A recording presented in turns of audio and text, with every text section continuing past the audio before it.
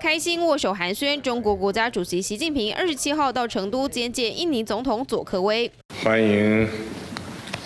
我的老朋友佐科总统先生，双方排排坐，承诺加深伙伴关系。一旁还能见到回国担任外交部长的王毅随时在侧。但大咖齐聚成都，其实是为了二十八号晚间的世大运开幕。可惜运动风暴还没来，先吹起了外交风波。只有三名选手的签证是用订书机另外钉在护照上。原来是因为中印两国常年领土争议，中国将阿鲁纳查邦称为藏南地区，声称拥有主权，因此两千年以后就只愿意。递给另外的纸本签证，代表不承认印度对当地的主权。但这项举动，印度怎么能接受？选手在印度机场就被海关拦下，最终整个武术队都取消参赛。不止对外出状况，更传出有人号召在世大运期间发起白纸革命二点零，成都维安升到最高点，场外的气氛比场内更令人胆战心惊。